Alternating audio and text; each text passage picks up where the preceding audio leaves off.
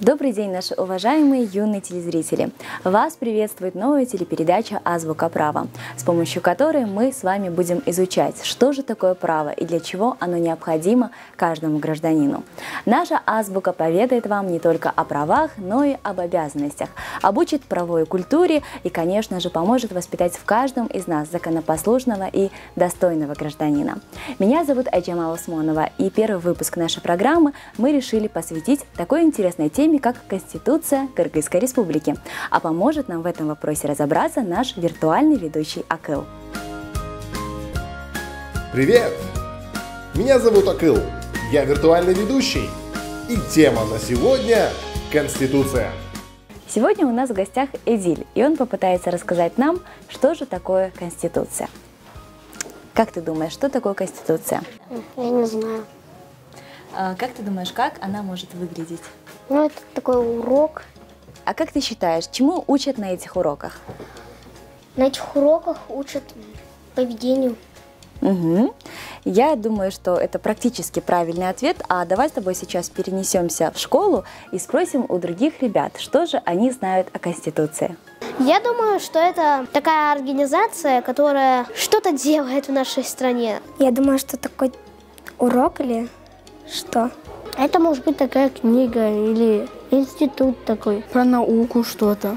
Э, творить там робота всякое, там научное что-то.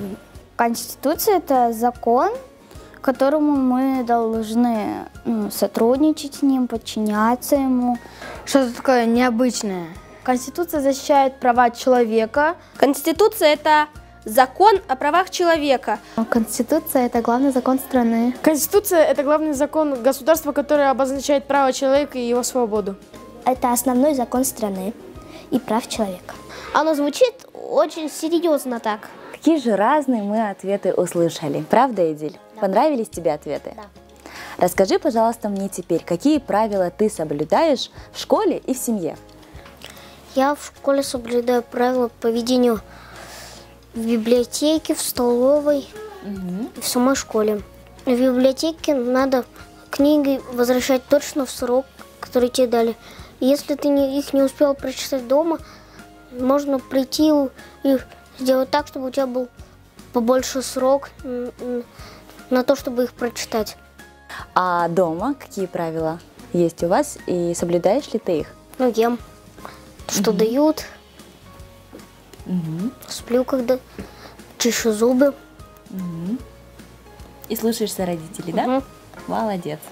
Вот, по сути, свод правил, которые соблюдаешь ты, и есть Конституция, но только лично для тебя. Но в нашей стране живет очень много людей, и для каждого из них не может быть каких-то отдельных специальных правил.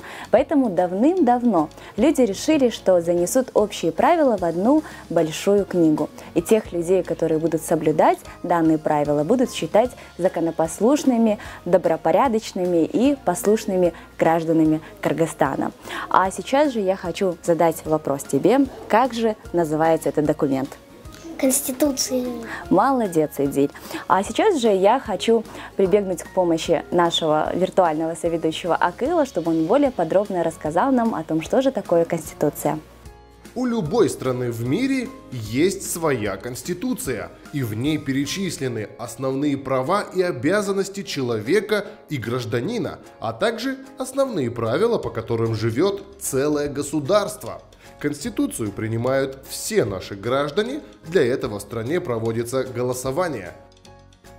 Ребята, а вы знаете, в каком году приняли первую конституцию Кыргызской республики? Я думаю, что это 20 ноября. 93 -го года, 20, 21 ноября. 1993, 5 мая. 30 августа. 1993 а, года, 5 мая. 10 декабря. 2005 мая 1993 года. Роле 21 вроде. 1900... Первую Конституцию Кыргызской Республики приняли 5 мая 1993 года. Благодаря этому закону наша страна стала независимым и суверенным государством. Дата принятия первой Конституции является национальным праздником Кыргызстана. Ребята, а какие нормы нашей Конституции вы знаете? В Конституции все национальности равны, и человек э, не может э, как бы расу затронуть другого человека. То есть это права. Э, Если у человека есть права, то у него также есть и обязанность. Как правильно себя вести в обществе, именно права человека, как, как, какими правами и, ну, а- обретает человек. защищать людей, их свободу слова. Э, Люди могут свободно высказыва- э, высказываться, они могут свободно исповедовать любую религию, э, и при этом не боясь, что их за это могут арестовать. Получается, это правовые и законодательные нормы.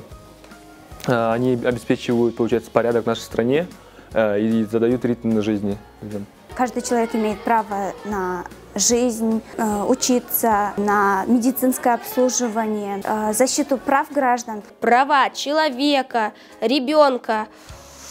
По-моему, надо, надо еще права животных тоже должны быть. Потому что животные, они тоже как существы, они живые существа и почти как люди. Тоже есть разум.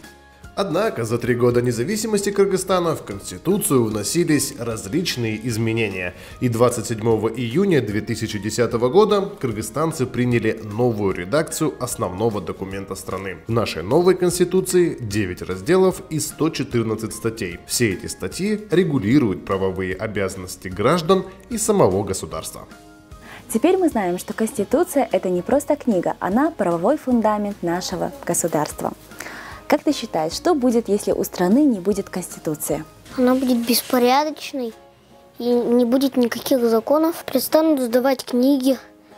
Будет много аварий, кто-то может даже погибнуть. Без, без правил будет очень сложно жить.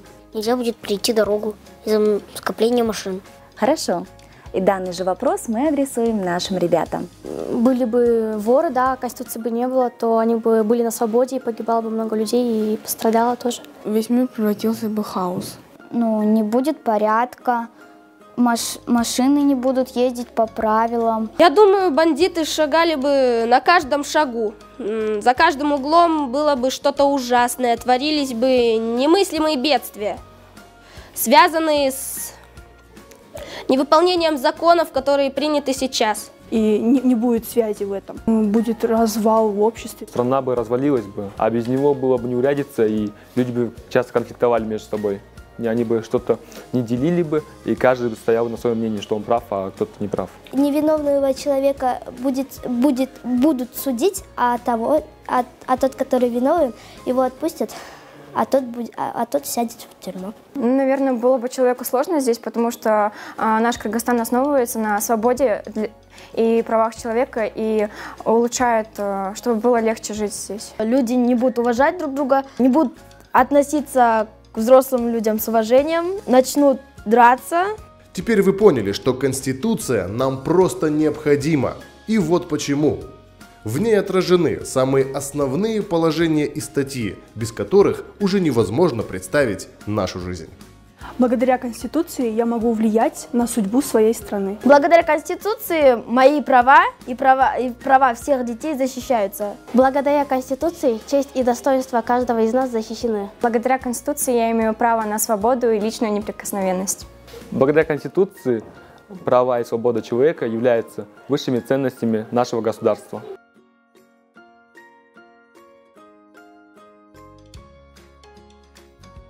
Сегодня на этом у нас все, но мы с вами ни в коем случае не прощаемся. В последующих выпусках мы продолжим с вами говорить о наших правах и обязанностях. Смотрите нас скоро и не забывайте изучать право с детства. Пока-пока!